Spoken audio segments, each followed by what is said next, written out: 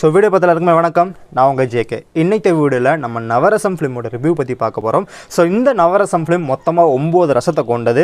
இந்த ஒம்பது ரசத்தில் நம்ம மூணு மூணு ரசமாக பார்க்க போகிறோங்க நான் ஏன் மூணு மூணு ரசமாக பார்க்க போகிறேன் அப்படிங்கிற விஷயத்தை இந்த மூணு ரசத்தை கேட்டதுக்கப்புறம் உங்களுக்கு புரியும். என்ன பார்க்குறீங்க? ஒன்றும் புரியலையா? அந்த மாதிரி தான் இருக்குது இந்த நவரசம் படமும். ஸோ வாங்க வீடியோக்குள்ளே போகலாம்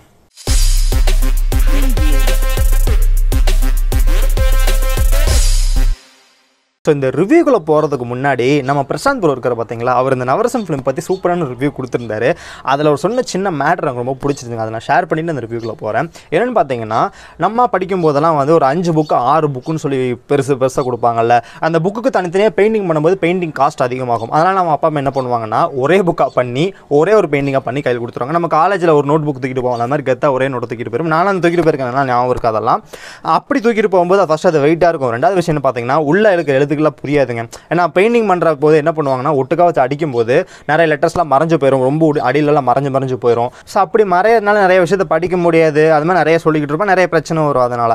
அந்த மாதிரி தான் இருக்குது இந்த நவரசன் படமும். ஸோ எல்லாத்தையும் ஒரே படமாக கொடுக்குறோம். ஒரே ஒரு வெப் சீரிஸாக கொடுக்குறோம் அப்படிங்கிற பேரில் முப்பது நிமிஷம் நாற்பது நிமிஷம் கதையை சுருக்கி சுருக்கி சுருக்கி நிறைய இடத்துல நம்மளாம் இதெல்லாம் இருந்திருந்தால் நல்லா இருந்திருக்குமே அப்படின்னு தோன்ற அளவுக்கு வந்து கொண்டு வந்துட்டாங்க. ஃபர்ஸ்ட் ஆஃப் ஆல் வந்து பாதி படங்கள் புரியவே இல்லைங்க. நான் ஒரு மூணு படம் தாங்க பார்த்தேன். மூணுக்கு மேலே பார்க்கல. அந்த மூணு படமே என்னால் பா புரியவே முடியல. சகிச்சிக்க முடியல சீரியஸாகவே இவ்வளோ பெரிய ஆக்டர் விஜய் சேதுபதி. எவ்வளோ ஒரு எக்ஸ்பெக்டேஷன் இருந்துச்சு.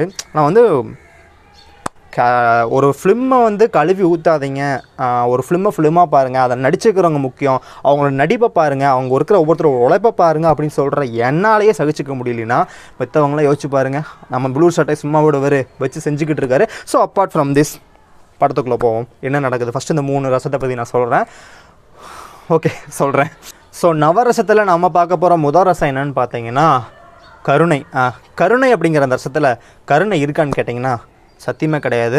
அவங்களும் கருணை வைக்கல. பார்க்குறவங்க நம்ம மேலேயும் கருணை வைக்க கிடையாது. அந்த மாதிரி பண்ணி வச்சுருந்தாங்க. கருணை அப்படிங்கிறதுல வந்து மெயினாக நடிச்சிருக்கிறது நம்ம விஜய் சேதுபதி. ரொம்ப எக்ஸ்பெக்ட் பண்ணி போன சீரீஸாக விஜய் சேதுபதியில் அந்த பிளாக் ட்ரெஸ்ஸோட அந்த மனுஷனை பார்க்குறதுக்கு வேறு லெவலில் இருப்பார்.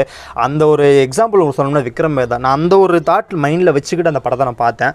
அதுவும் இல்லாமல் அவங்க கொடுத்த ப்ரொமோஷனில் அந்த கண்ணு மேலே தூக்குவார் பார்த்தீங்களா?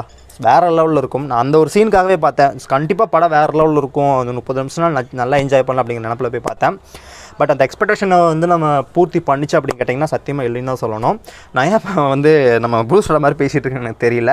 பட் ஃப்ராங்காக சொல்லணும்னா அதுதாங்க. பட் நீங்கள் எக்ஸ்பெக்டேஷனே இல்லாமல் போய் பார்த்தீங்கன்னா அப்போ உங்களுக்கு பிடிக்காது அந்த மாதிரி தான் இருக்கும் ஒரு ரெண்டரை மணி நேரம் மூணு மணி நேரம் படத்தை வந்து எப்படா படம் முடியும் அப்படின்னு நினைக்கிறது வேறு அது வேறு கான்செப்ட் பட் ஒரு முப்பது நிமிஷத்து படத்தை எப்படா படம் முடியும் அப்படின்னு நினைக்கிறது வந்து எந்த அளவுக்கு ஒரு மோசமான படம் நீங்கள் நினச்சி பார்த்துக்கங்க. எனக்கு அந்த மாதிரி தோணுச்சு. அந்த முப்பது நிமிஷத்துக்குள்ளேயே நான் அஞ்சாறு டைம் வந்து பார்த்துட்டேன். எப்படா முடியும் எப்படா முடியும்னு பார்த்துட்டேன்.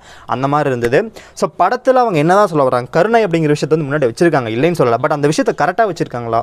மக்களுக்கு கன்வே ஆகுது அப்படின்னு பார்த்தீங்கன்னா சத்தியமாக கன்வே ஆகலை. ஒரு இடத்துல பார்த்தீங்கன்னா எனக்கு ஒரு இடத்துல ஒரு கட் ஒரு எடிட்டிங் மிஸ்டேக்னா வச்சு வச்சுக்கோங்களேன். படம் நான் ஓரளவுக்கு ஸ்மூத்தாக போயிட்டு இருக்குன்னு வச்சுக்கோங்களேன். இடையில சடனாக வந்து ஒரு ஒரு பத்து செகண்டுக்கு வந்து ஒருத்தர் கொள்கிற மாதிரி காட்டுறாங்க. விஜய் சேதுபதி ஒருத்தர் அடிச்சு கொள்றாரு அவ்வளோதான் அந்த சீன் ஏன் அங்கே வந்துச்சு ஃபஸ்ட்டு அது ஃப்ளாஷ்பேக் அப் அது ஆக்சுவலாக அது ஃப்ளாஷ்பேக் தான் ஓகேவா பட் அது ஃப்ளாஷ்பேக் அப்படிங்கிற விஷயத்தையே ஒரு செகண்ட் நீங்கள் வந்து பாஸ் பண்ணி வச்சுட்டு திங்க் பண்ணால் தான் உங்களுக்கே புரியும். ஓகே அது ஃப்ளாஷ்பேக்கா அப்படிங்கிற மாதிரி. இப்போ என்னோட வீடியோஸில் ஒரு கிளிப்புக்கு இன்னொரு கிளிப்புக்கு நடுவில் ஒரு டிரான்சாக்ஷன் நடக்கும் பார்த்தீங்களா டப்புன்னு மாறும் பார்த்தீங்களா அந்த மாதிரி தான் இருக்குது அந்த இடமும். ஸோ ஃப்ளாஷ்பேக் அப்படிங்கிற பேர் அந்த மாதிரி பண்ணி வச்சுருந்தாங்க பட் அந்த படத்தில் ஒரே ஒரு சின்ன ட்விஸ்ட் இருந்துச்சு. அந்த ட்விஸ்ட் மட்டும் நாங்கள் புரிஞ்சது இல்லைன்னு சொல்லலாம் மற்றபடி விஜய் சேதுபதியோட ஆக்டிங்கில் குறைய சொல்ல முடியாது. நல்லா இருந்துச்சு. அப்புறம் அந்த வே ஆஃப் ஃபிலிம் மேக்கிங் அது நல்லா இருந்துச்சு. அந்த ஒரு கலர் படத்தோட ஒரு கலர் இருக்குது பார்த்தீங்களா அந்த பிளாக் அண்ட் ஒயிட் கலந்த மாதிரி ஒரு கலர் கொடுத்துருந்தாங்க. சீரியஸாகவே சூப்பராக இருந்தது. நடித்தவங்க எல்லாருமே சூப்பராக நடிச்சிருந்தாங்க. பட் அந்த கதை அப்படிங்கிற விஷயத்தை வந்து கோட்டையை விட்டுட்டாங்க. கருணை அப்படிங்கிற விஷயத்தை எனக்கு தெளிவாக சொல்லியிருக்கலாம். ஒருவேளை இது வந்து ஒரு முப்பது நிமிஷம் படமாக இல்லாமல் ஒரு ஒரு மணி நேரம் ஒன்றரை மணி நேரம் இல்லை ஒரு ரெண்டரை மணி நேரம் படமாக இருந்தால் கூட ஒரு நிறைய டீட்டெயிலிங் உள்ளே கொடுத்துருக்க நிறைய விஷயத்தை உள்ளே வச்சிருக்கலாம். அப்படி வச்சிருந்தா ஒருவேளை அந்த கதையை நல்ல கதையாக மாறி இருக்கலாம்.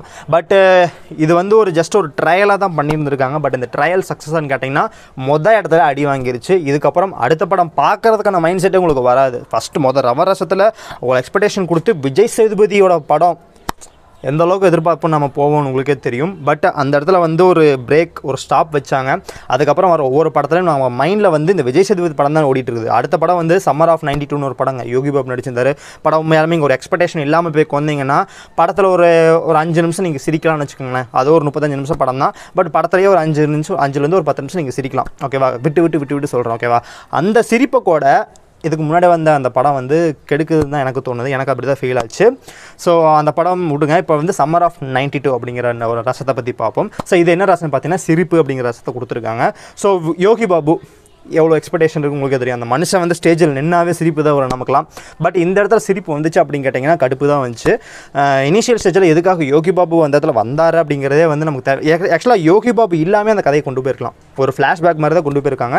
ஸோ அந்த ஃப்ளாஷ்பேக்கை மட்டுமே நீங்கள் ஒரு கதையை எடுத்திருந்தீங்கன்னா கொஞ்சமாக இன்னும் கொஞ்சம் காமெடியாக இருக்கும். யோகி பாபுவோட சின்ன வயசு பையன் அப்படிங்கிற மாதிரி ஒரு பையன் நடிச்சிருப்பான். சூப்பராக நடிச்சிருப்பான். அந்த பையன் சீரியஸாக நல்லாயிருக்கும் அந்த படத்தோட கிளைமேக்ஸில் ஒரு அஞ்சு நிமிஷம் நீங்கள் நல்லா சிரிக்கலாம். ஒரே ஒரு நாயை ஒரு அட்டகாசம் பண்ணும். அந்த ஒரு அட்டகாசத்துக்காக நீங்கள் வந்து சிரிக்கலாம். அது உண்மையாக நல்லா இருந்துச்சு. அது வந்து அந்த கதைக்குள்ளே அந்த நாய்க்கு எது நாய் எதுக்கு வந்துச்சுன்னே தெரியாமல் தான் வரும். பட் வந்து ஒரு நல்ல ஒரு ஃபன்னை கொடுத்துட்டு போயிருக்கும். அந்த விஷயத்து நல்லா இருந்துச்சு. மற்றபடி வந்து யோகி பாபு நான் குறை சொல்ல கிடையாது. அந்த மனுஷன் நடிக்கிறதுலாம் நல்லா நடிச்சிருக்காரு. பட் அந்த படத்தில் காமெடி அப்படிங்கிற விஷயம் வந்து அதில் இல்லை. அவர் வே ஆஃப் ஸ்பீக்கிங்கில் நமக்கு சிரிப்பு வரும். போனோடனே டக்குன்னு வந்து ஹலோ அப்படிம்பாரு. உடனே மைக்கு கத்தும். அந்த இடத்துல சின்ன ஒரு சிரிப்பு வரும். அந்த மாதிரி சின்ன சின்ன சிரிப்புகள் தான் இருக்குது. மற்றபடி வந்து படத்தை அந்த கதையை ஃபுல்லாக கேரி பண்ணி கொண்டு போகிறத யோகி பாபுவோட சின்ன வயசு பையன் ஒருத்தர் நடிச்சிருப்பா அவர் அவர் பேர் எனக்கு சீரியஸாக தெரியல பட் வந்து நல்லா நடிச்சிருந்தார். ஓகே அந்த படத்தை பார்த்ததுக்கப்புறம் வந்து ஓகேடா ஓரளவுக்கு அப்படிங்கிற மாதிரி தான் இருந்துச்சு. ஸோ கம்பேரிட்டிவ்லி இதுக்கு முன்னாடி வந்த நம்ம விஜய் சேதுபதி நடிச்சிருந்தார் பார்த்தீங்களா படத்து பேரை மறந்து போச்சுங்க எனக்கு. பிகாஸ் eh, ஒரு படம் நல்லா இருந்தால் அப்படி தான் நல்லா இருந்தால் மட்டும்தான் நம்ம மைண்டில் ரெஜிஸ்டர் ஆகுங்க. அது இப்போ தான் ஒரு ஹாஃப் அன் ஹவருக்கு முன்னாடி பார்த்துட்டு வந்து டக்குனுக்கு பேர் கூட மறந்து போச்சுன்னா பாருங்களேன். அந்த மாதிரி தான் இருந்துச்சு. மற்றபடி த வே ஆஃப் மேக்கிங் அப்படிங்கிறது எனக்கு ரொம்ப பிடிச்சது. சேம் இதே மாதிரி சம்மர் ஆஃப் நைன்டி டூ அப்படிங்கிற படத்துலையும் வே ஆஃப் மேக்கிங் நல்லா இருந்தது.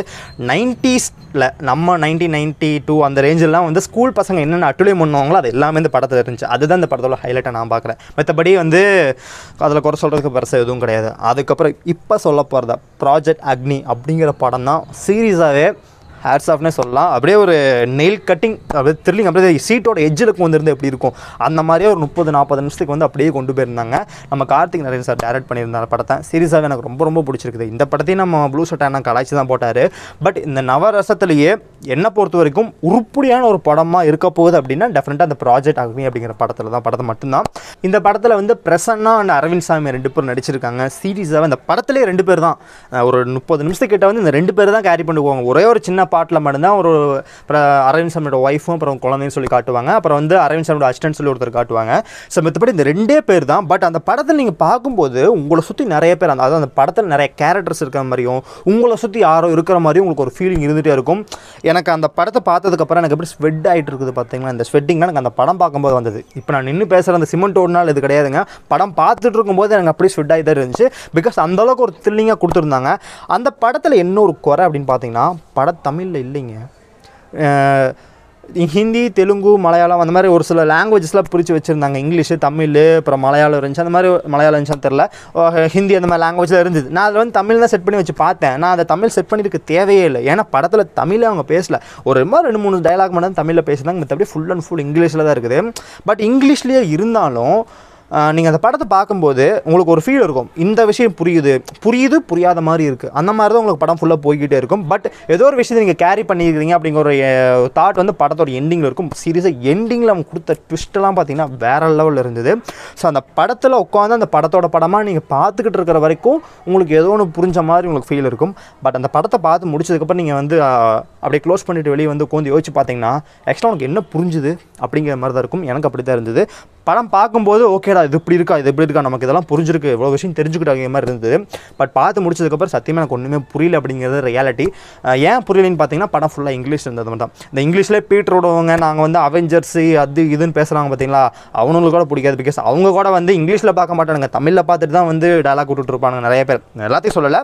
பட் என்ன சுதிக்கிற ஒரு சில ஜென்மங்கள் அப்படி தான் இருக்குது ஸோ படத்தை கொஞ்சம் தமிழில் டப் பண்ணி போட்டிருந்தாங்கன்னா நல்லா இருந்திருக்கும் தமிழ் இல்லாத வந்து ஒரு குறையாக நான் பார்க்குறேன். மற்றபடி அரவிந்த் சாமி மனுஷன் என்ன மனுஷியானீங்களா வேறு லெவலில் இருந்துச்சுப்பா சீரியஸாக அவருடைய அந்த ஆக்ஷன் அவர் கன்வே பண்ணுற அந்த விஷயம் வந்திங்கன்னா அவ்வளோ சூப்பராக இருந்தது.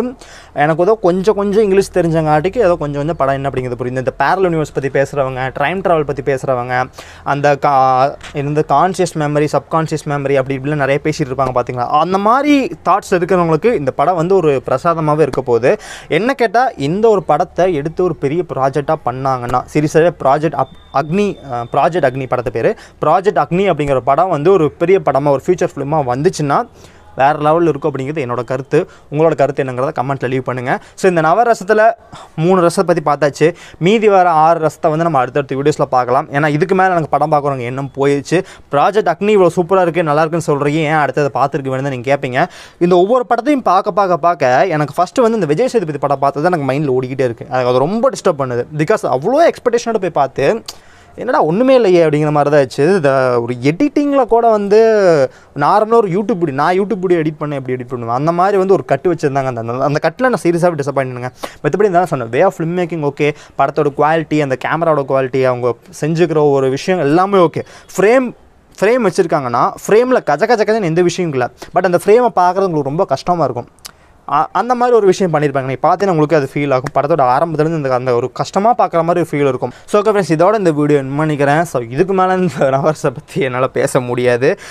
இதுக்கப்புறம் வர மூ அடுத்தடுத்த ரசம் அடுத்த வந்து பாயாசம்னு ஒரு படம் இருக்காமா? நான் ரிவ்யூஸில் கேள்விப்பட்ட வரைக்கும் பாயாசத்தை நான் பார்க்காம இருக்கிறது ரொம்ப நல்லதுன்னு நினைக்கிறேன். பட் இருந்தாலும் பரவாயில்ல நவரசத்தை நம்ம பார்த்து தான் ஆகணும். ஸோ நவரசத்தில் மூணு ரசத்தை பற்றி உங்களுக்கு எக்ஸ்பிளைன் பண்ணிட்டேன். இந்த மூணு ரசத்தில் எந்த ரசம் உங்களுக்கு பிடிச்சிருக்கு அப்படிங்கிறத கீழே கமெண்ட்டில் லீவ் பண்ணுங்கள் அந்த நீங்கள் யாரோ அந்த நவரசம் படம் பார்த்து முடிச்சிட்டிங்கன்னா இதுக்கப்புறம் வர எபிசோட்ஸ்லாம் பார்க்கலாமா வேணாமா அப்படிங்கிற உங்களோட சஜஷன் என்னங்கிறத கமெண்ட்டில் லீவ் பண்ணுங்கள் அதை பார்த்ததுக்கப்புறம் ஒரு தைரியத்தை வர வச்சுக்கிட்டு நம்ம இந்த படத்தை பார்க்குறேன்.